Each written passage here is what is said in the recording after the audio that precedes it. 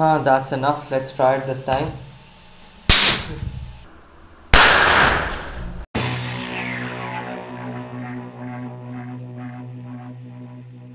Hey everyone, you are watching channel Mr. Electron and today in this video I'm again going to do some experiments with the same synchronous motor that I showed in my previous video. It's from a microwave plate motor. If you haven't watched my previous video, link will be provided in the description. Don't forget to check it out. And uh, what's new in this video is I'm going to change the winding for this motor so that I can convert this motor that generates useless 500 volts. We cannot utilize it in anything to around uh, 6 volts or 12 volts. We will decide that later. So before doing that modification let's do the current that this synchronous motor generates when being used as a generator which I think is going to be so low that it is going to be useless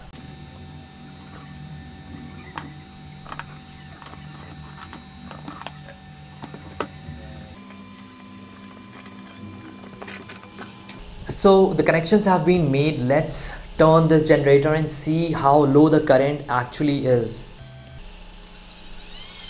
Oh, let me also see it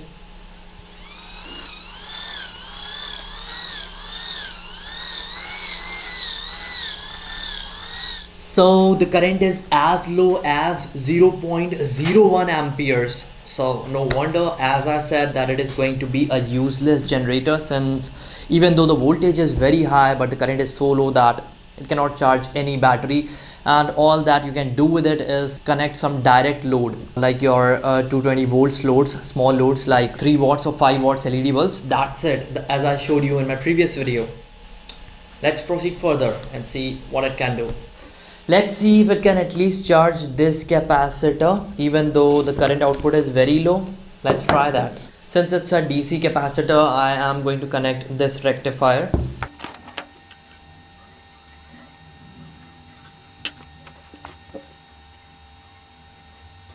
So guys let's start the charging part of this capacitor. The current is very low from this generator so it's completely harmless. So all you got to do is turn like this little like you have to go through a lot. Oh.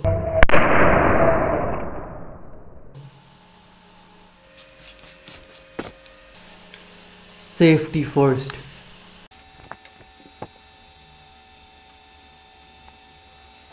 Hmm I think it has discharged. so guys charging it once again. Let's hope that it does not start circuits this time uh, one thing is for sure that at least it is not harmless.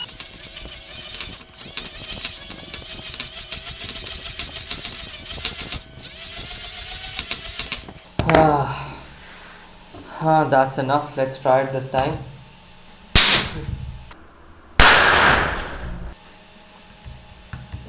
Remember guys the experiment is really dangerous so don't even think about trying it at home. Well obviously the spark was going to be that high because it was coming out from a high energy capacitor. I was storing the current the negligible current from this synchronous motor in steps to this capacitor. But when it was coming out from this capacitor it was coming out in one millisecond. Because of that very reason it was huge. The current multiplied with the help of added up time. I will show you. Now guys the calculation is as follows okay? Um, the capacitor rating as you can see here it is voltage is equal to 450 volts. Dc capacitance is 1400 microfarad.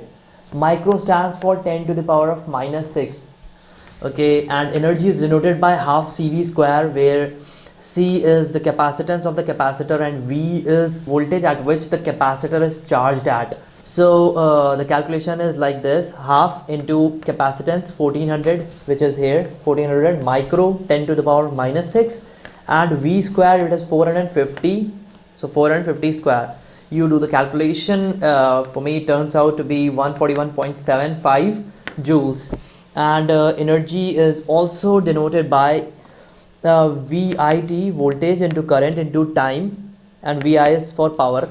If we have to take out I I will be E by VT which is here. And then uh, we put the values E being 141.75 and V we already know 450 volts DC here I have taken uh, one millisecond because uh, like when I did the short circuit with this uh, rod it was uh, like in a millisecond and the current discharge is usually in milliseconds or even less than that but I'm going to go with milliseconds. 1000 milliseconds equal 1 second. So here you can see 1 millisecond equals 0.001 seconds. Placing that value you will get a max peak of 315 amperes under short circuit which is a very high current. So you can see how big the spark can be. Even though I understand that I did not charge this capacitor to full value uh, still it was uh, dangerous enough to create that spark. So the current the peak current for such a short time period should be somewhere around uh, like 200 amps or maybe 180 amperes now guys that instant millisecond dissipation of this capacitor can be related to the one inch punch of Bruce Lee. What he did was he placed his hand to a wooden piece like this and the distance was not much and after that he just punched from there in less than a second and the board broke which is exactly what I'm going to try over here. So get ready because I'm going to unleash the power of Bruce Lee.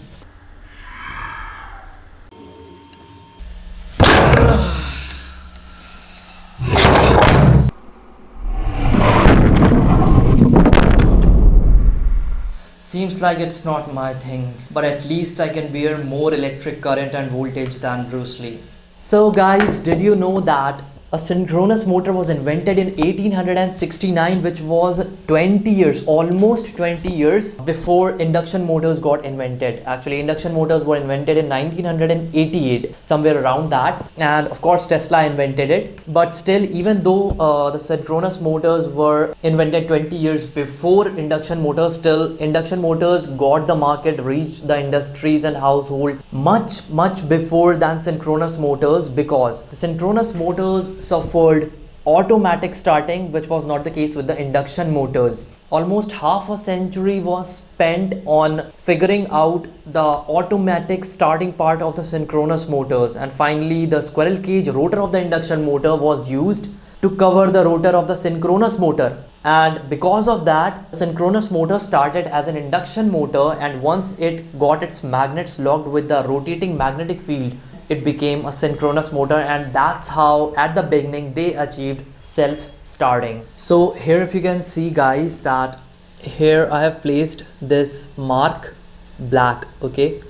Here and here because this is the cover and when I'm going to take it out afterwards when I'm going to place it back it is going to be difficult for me to identify which side was in contact with which side of the outer body. So with that being said let's open it up So guys, this is how the gearbox looks from inside. And before you open it further, take uh, the marker and make a mark here also. You see, and this way you will know that which side was facing this part of the body. So let's take them all off step by step.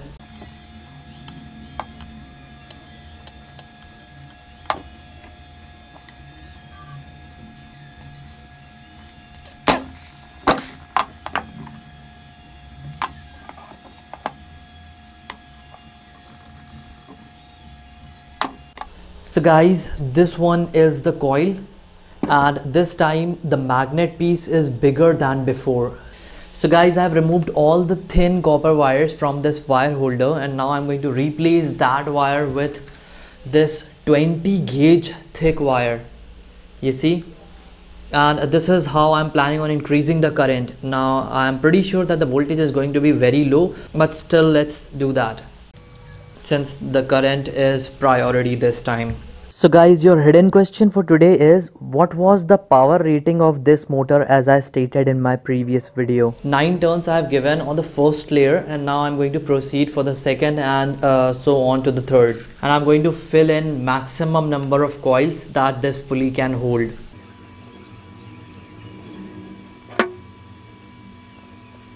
So guys, here as you can see that I've completed the rewinding part I've uh, completely filled uh, the pulley which was initially holding only half the thin wires. Now uh, these thick wires are completely filled with it. Let's remove the insulation here.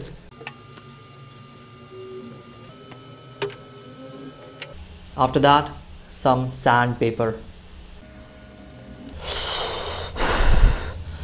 Oh it was really hot.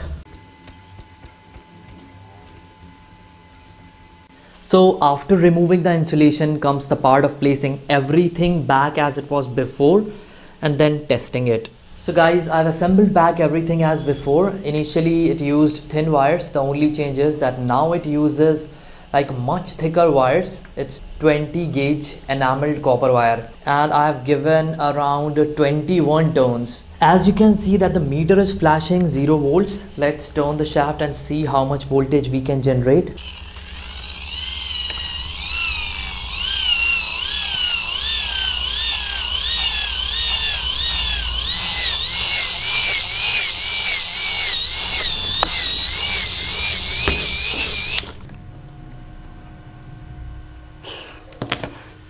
The gearbox broke.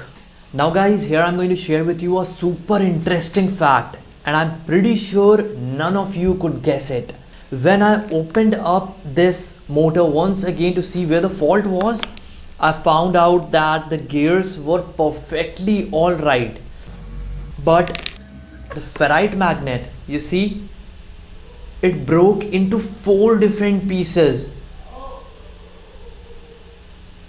This means that when I hand cranked it, the speed of the magnet or the RPM of the magnet was so high that it crossed the tensile strength of the ferrite magnet and it broke into four different parts and got stuck to the armature poles. And that's how it happened.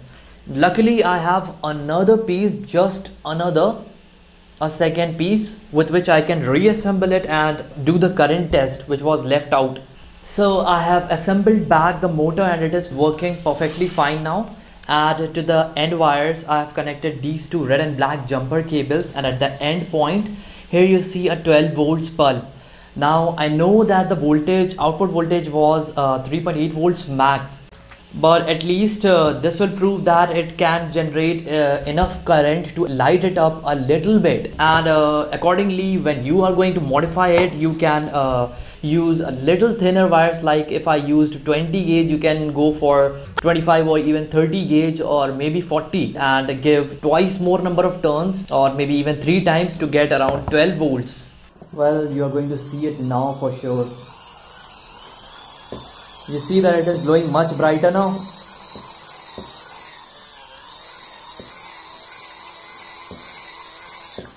So guys here I'm going to do the maximum current generation test and I have connected the rectifier here. Let's start